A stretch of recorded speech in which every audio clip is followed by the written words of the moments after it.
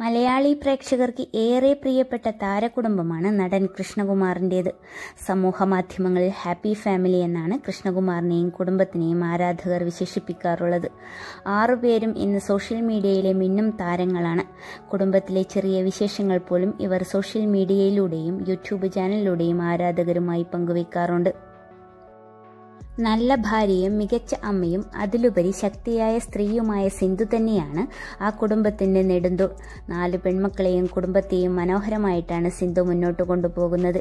ഇന്നലെ ആ അമ്മയുടെ പിറന്നാളായിരുന്നു. അമ്പത്തൊമ്പതാം ജന്മദിനം ആഘോഷിച്ച സിന്ധുവിനെ കുറിച്ച് എഴുത്തുകാരിയായ അഞ്ജു പാർവതി പങ്കുവച്ച ഒരു കുറിപ്പാണ് ഇപ്പോൾ സോഷ്യൽ മീഡിയയിൽ വൈറലാകുന്നത്. പ്രസവിക്കാനും അമ്മയാകാനും ആർക്കും കഴിയും. പക്ഷേ നാല് പെൺമക്കളെ നക്ഷത്രങ്ങളാക്കി മാറ്റാൻ എല്ലാവർക്കും കഴിയില്ല. അവിടെയാണ് സിന്ധു എന്ന അമ്മയുടെ വിജയമെന്നാണ് അഞ്ജു കുറിച്ചിരിക്കുന്നത്. അഞ്ജുവിന്റെ വാക്കുകൾ ഇങ്ങനെ പൂത്തിരി പോലെ ചിരിച്ചു നിൽക്കുന്ന ഈ സുന്ദരമായ കുടുംബചിത്രത്തിലെ നെടുന്തൂണായ സ്ത്രീയുടെ ജന്മദിനമാണ് ഇന്ന്. ഒരു സ്ത്രീ എങ്ങനെ ഒരു കുടുംബത്തിന്റെ നട്ടെല്ലാകുന്നുവെന്നതിന്റെയും പാട്രിയാർക്കി തുല്യതാവാദം ഫെമിനിസം ഇത്യാദി ചേരുവകളില്ലാതെ തന്നെ ഒരു സ്ത്രീക്ക് പൊതുസമൂഹത്തിന് മുന്നിൽ തന്റെ സിഗ്നേച്ചർ ഒരു നല്ല മകളായും ഭാര്യയായും അമ്മയായും സുഹൃത്തായും കാണിക്കുവാൻ കഴിയുന്നത് കഴിയുന്നതെങ്ങനെയെന്ന് ജീവിച്ചു കാണിക്കുന്ന ഒരു സ്ത്രീയെക്കുറിച്ച് മറ്റൊരു സ്ത്രീക്ക് തോന്നുന്ന മതിപ്പ് മാത്രമാണ് ഒരിക്കൽ കൂടി ഇത് പങ്കുവെക്കുന്നതിന് അതിന്റെ ആധാരം.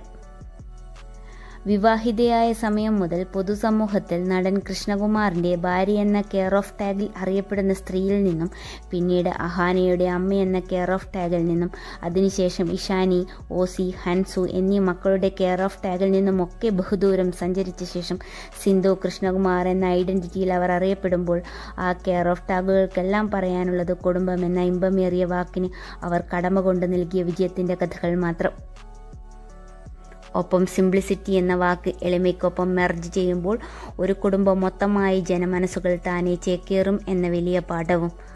മക്കളെ അവരവരുടെ ഇഷ്ടങ്ങൾക്കനുസരിച്ച് വളർത്തുന്നതിനോടൊപ്പം തന്നെ പ്രായത്തിനനുസരിച്ചുള്ള ഉത്തരവാദിത്വങ്ങൾ ഏറ്റെടുക്കാനും സ്വയം പര്യാപ്തതയോടെ കാര്യങ്ങൾ നടത്താനും സാമ്പത്തിക അച്ചടക്കം പാലിക്കാനും ഒക്കെ പരിശീലിപ്പിച്ച ഒരമ്മയാണവർ. സ്വയം സംരക്ഷിക്കാനും പ്രതികരിക്കേണ്ടിടത്ത് പ്രതികരിക്കാനും ശബ്ദമുയർത്തേണ്ടിടത്ത് ശബ്ദമുയർത്താനും മറ്റുള്ളവരോട് മാന്യമായി പെരുമാറാനുമൊക്കെ ആവശ്യമായ മാർഗനിർദ്ദേശങ്ങൾ വളർച്ചയുടെ പടവുകളിൽ കൃത്യമായ സമയത്ത് നൽകിയ മെൻഡർ കൂടിയാണവർ. ഭർത്താവിന്റെ രാഷ്ട്രീയം നോക്കി ട്രോളാനും അതിന്റെ പേരിൽ പെൺമക്കളെ വളഞ്ഞിട്ട് അപഹസിക്കാനും ഒരു കൂട്ടർ മുതിർന്നപ്പോൾ അതിനെയൊക്കെ ചങ്കൂറ്റത്തോടെ നേരിട്ട ബോൾഡ് ആൻഡ് ബ്യൂട്ടിഫുൾ സിഗ്നേച്ചർ കൊണ്ട് അപവാദങ്ങളെ അപദാനങ്ങളാക്കി മാറ്റി മക്കൾക്കൊപ്പം നിലയുറപ്പിച്ച സ്ത്രീ. ലൈഫ് പാർട്ട്ണറെ കണ്ടെത്താനും വിവാഹിതയാകാനും ഒക്കെ ആർക്കും കഴിയും. പക്ഷേ ആ പങ്കാളിക്ക് കരുത്തായും കരുതലായും കൂടെ നിന്ന് കുടുംബം സ്വർഗമാക്കാൻ എല്ലാവർക്കും കഴിയണമെന്നില്ല. അവിടെയാണ് സിന്ധുവെന്ന ഭാര്യയുടെ വിജയം.